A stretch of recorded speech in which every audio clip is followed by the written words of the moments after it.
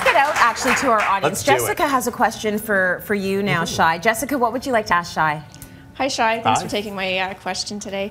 Um, I'd really like to change my kitchen. It's very country, uh, oak cabinets, uh, and I've got a lot going on, and I'm wanting it to be very modern. I'm hoping you can give me some advice. Absolutely. Just like her. Just she's like her. She's not country, she's modern. You know, we got this question in advance. Thank you so much for that, Jessica. So Jessica's a cop, so I'm going to answer this really carefully.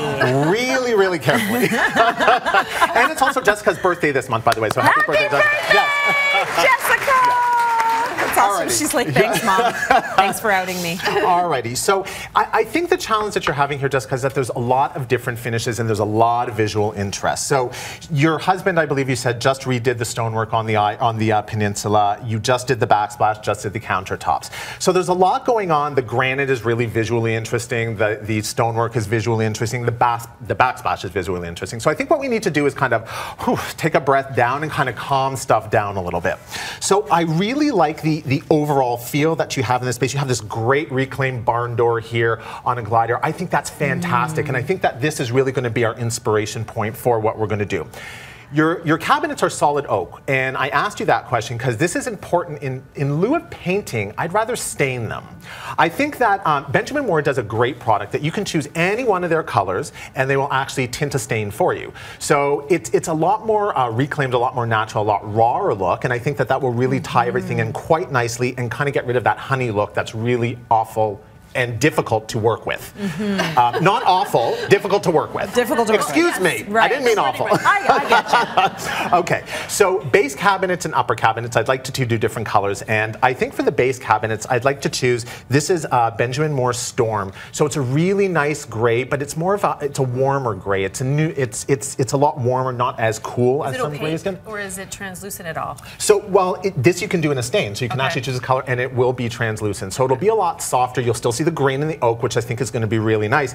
And then for your mm-hmm. uppers, I've chosen Benjamin Moore Steam. So you see these two colors together, they're really nice. It's, it's a really nice combination. They're not so stark that they don't work with one another, but they're nice mm-hmm. and somber and work nicely together. In terms of, you know, we talked about the stonework, the countertop, and the backsplash. I think one of those things needs to change. And because you just did the stonework and you just did the backsplash, I'm going to try to make your life as easy as possible and say to change the countertop. Now, the countertop is going to be a little bit of an investment, but we can go two ways.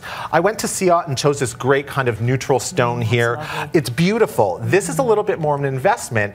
If you don't want to do something like this, I'm a huge fan of doing concrete countertops. Mm. So that's it's just going to be poured right into a mold on your on your countertop, and it's going to be really industrial. It's going to play off that barn door that you have there, and I think that that's going to pull everything in really, really nicely. How is concrete if you're using that? Uh, if you're using that as an island, Yeah. is it good for absorbing materials? Does it stain? Okay. Like, or is it super low maintenance? I don't find it stains. No, you know, I have concrete countertops. I had in my old place too. So in my old place, uh, we had darker countertops. They were a lot easier to care for. In our new Yeah. place, the, the gentleman that did our concrete countertops forgot to steal them, seal them for us. And he told us they were. So, and then I put down a glass of red wine and well, there's the ring, the glass of red wine. So you gotta have to it be, you have to steal, you have to to seal seal them. You have to seal them. But like any, any It's marble. natural stones, exactly. the Yes. same thing, Exactly. right? Okay. And the look is flawless. And then just don't be crazy, crazy in the kitchen. Exactly. You know, you're not Right. flinging food.